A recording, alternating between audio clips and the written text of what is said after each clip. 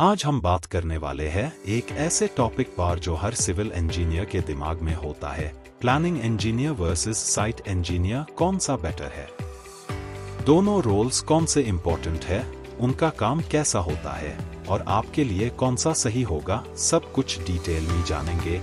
तो चले शुरू करते हैं आज का वीडियो इंजीनियरिंग फ़ील्ड में काम करने वाले इंजीनियर्स के लिए एक कॉमन कंफ्यूजन होता है। प्लानिंग इंजीनियर बनना बेटर है या साइट इंजीनियर दोनों रोल्स कंस्ट्रक्शन इंडस्ट्री के बैकबोन है, लेकिन उनका काम वर्क एनवायरनमेंट और करियर पाथ काफ़ी अलग होता है। आज हम इस डिटेल्ड वीडियो में दोनों प्रोफाइल्स का टेक्निकल कंपैरिजन करेंगे रियल साइट और ऑफ़िस एक्सपीरियंस के बेस पर, ताकि आप अपने लिए बेस्ट करियर चूज़ कर सके। सबसे पहले बात करते हैं साइट इंजीनियर की। साइट इंजीनियर का रोल होता है कंस्ट्रक्शन साइट पे एक्चुअल एग्जीक्यूशन को मॉनिटर करना। जब आप सुबह 8 बजे से पहले साइट पे पहुँचते हो, तब से लेकर कंक्रीट पोरिंग के एंड तक आपको हर चीज़ सुपरवाइज करनी होती है। आप री का प्लेसमेंट चेक करते हो शटरिंग के अलाइनमेंट को वेरीफाई करते हो और इंश्योर करते हो कि साइट सेफ्टी प्रॉपरली फॉलो हो रही है। कभी कभी सडन चेंजेस या डिलेस के कारण मैनुअल अनलोडिंग या लेबर कोऑर्डिनेशन भी करना पड़ता है। ये जॉब फिजिकली डिमांडिंग होती है, लेकिन प्रैक्टिकल नॉलेज का ओशन भी यही मिलता है। अब बात करते हैं प्लानिंग इंजीनियर की। Planning engineer primarily office based role होता है, जहाँ आपको project scheduling material planning resource allocation और बिलिंग मैनेज करना होता है। आप प्राइमावेरा एमएस प्रोजेक्ट और एक्सेल जैसे सॉफ्टवेयर का उसे करके गैंट चार्ट्स बनते हो कैश फ्लो प्रोजेक्शंस तैयार करते हो और प्रोग्रेस रिपोर्ट्स क्लाइंट को भेजते हो। प्लानिंग इंजीनियर का काम ऑन पेपर एग्जीक्यूशन को स्ट्रीमलाइन करना होता है ताकि प्रोजेक्ट टाइम पर कंप्लीट हो।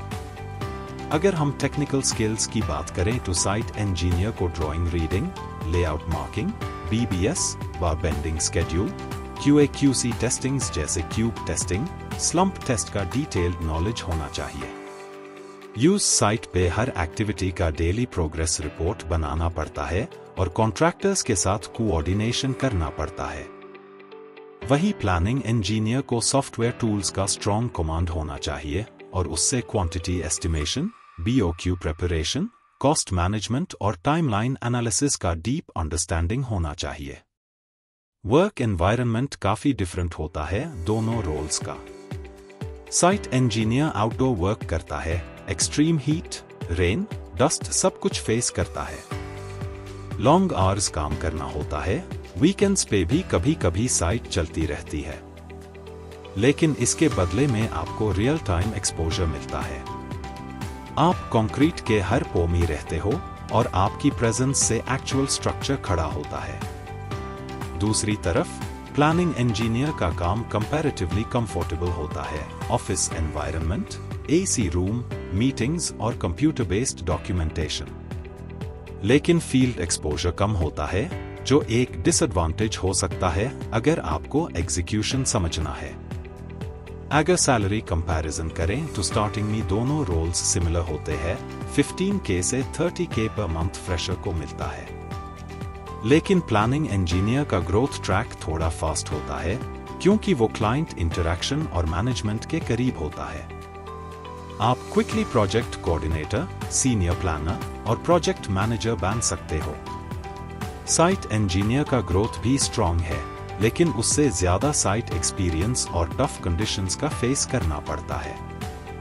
एक एक्सपीरियंस्ड साइट इंजीनियर भी प्रोजेक्ट इंचार्ज या कंस्ट्रक्शन मैनेजर तक पहुँचता है स्पेशली अगर उसका फ़ील्ड नॉलेज सॉलिड हो एक और इंपॉर्टेंट पॉइंट है स्ट्रेस लेवल साइट इंजीनियर को रियल टाइम इश्यूज़ हैंडल करने होते हैं जैसे कंक्रीट ट्रक डिले हो गया लेबर एबसेंट है फॉर्मवर्क ठीक से नहीं लगा या टेस्ट रिपोर्ट रिजेक्ट हो गया उस वक्त डिसीज़न लेना पड़ता है प्रेशर मैनेज करना पड़ता है प्लानिंग इंजीनियर का स्ट्रेस डिफरेंट होता है tight deadlines client pressure for accurate reports और कभी कभी अनरियलिस्टिक स्केड्यूलिंग डिमांड्स तो अब सवाल ये उठता है, कौन सा रोल बेटर है? इसका सीधा जवाब ये है कि दोनों रोल्स की वैल्यू अपनी जगह है।